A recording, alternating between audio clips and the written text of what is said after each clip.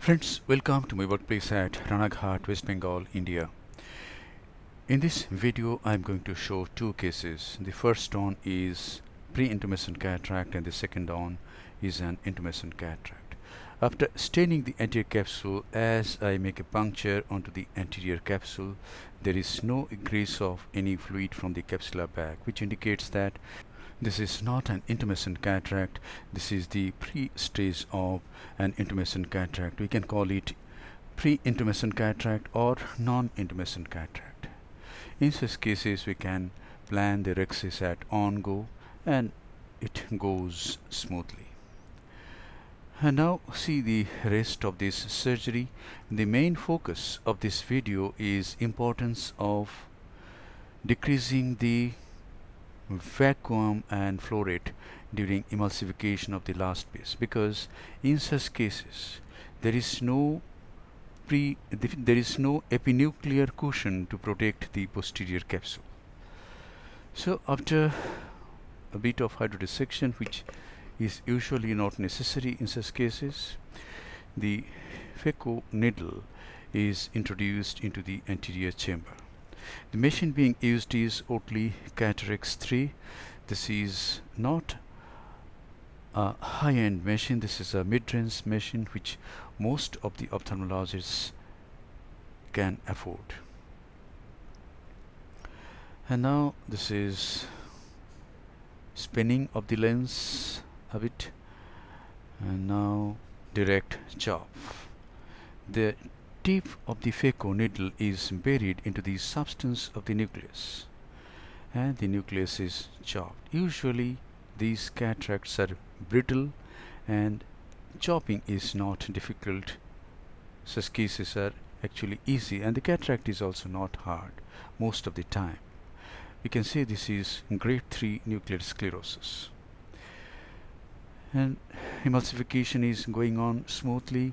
Ultrasonic energy used is 60% flow rate is 45 ml per minute and vacuum is 450 millimeter of mercury at this stage.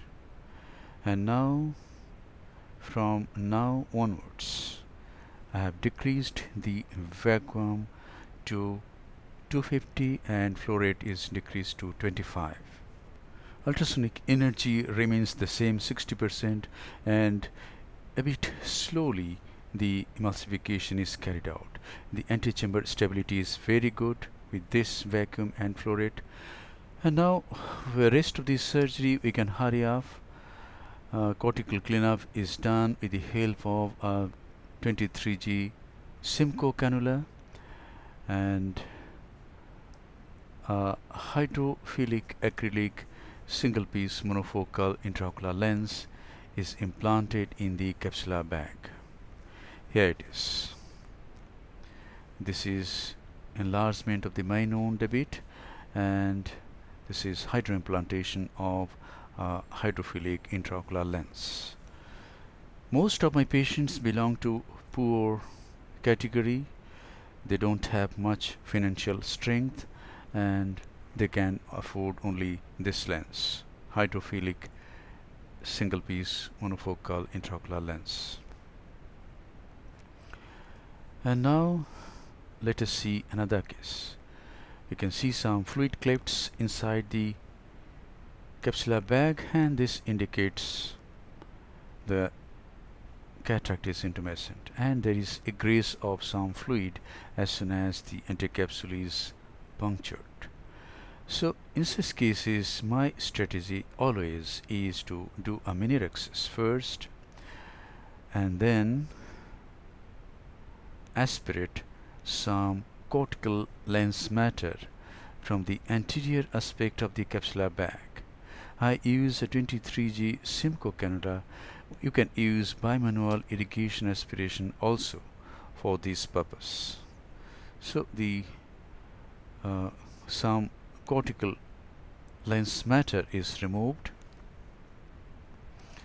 And once the capsular bag is thoroughly decompressed in this way the chance of rhexis runout is almost eliminated.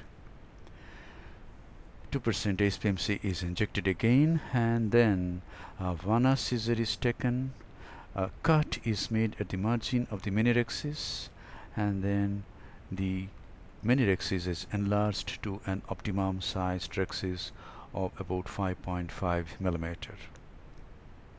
And this can be done very easily without fear of without the fear that the rhexis will run out to periphery. And this is done. This is a very nice round rhexis and now uh, the rest of the surgery goes smoothly. My main aim in this video is to show emulsification of the last piece and I want to emphasize what Dr. Sourabh D. Patwardhan has suggested that we reduce the vacuum to about 250 during emulsification of the last piece and particularly for those cases where there is no epinuclear cushion like these white cataracts. So this is direct chop. The tip of the phaco needle is buried into the substance of the nucleus. The nucleus is chopped into fragments. Brittle nucleus chops easily, not hard.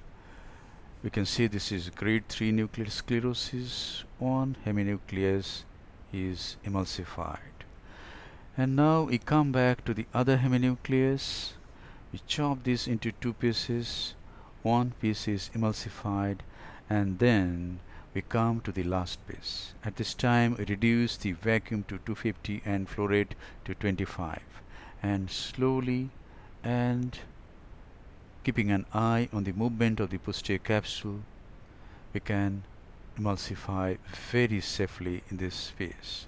And the posterior capsule doesn't move forward. And very safely the last piece is emulsified. So we learn lot of things from our colleagues.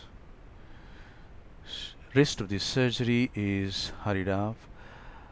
Cortical cleanup is done very nicely with the help of a 23G Simcoe and then hydro implantation of a single piece monofocal intraocular lens is done. The wound is enlarged little bit because I'm using a B cartridge. This is a hydrophilic acrylic single piece monofocal intraocular lens.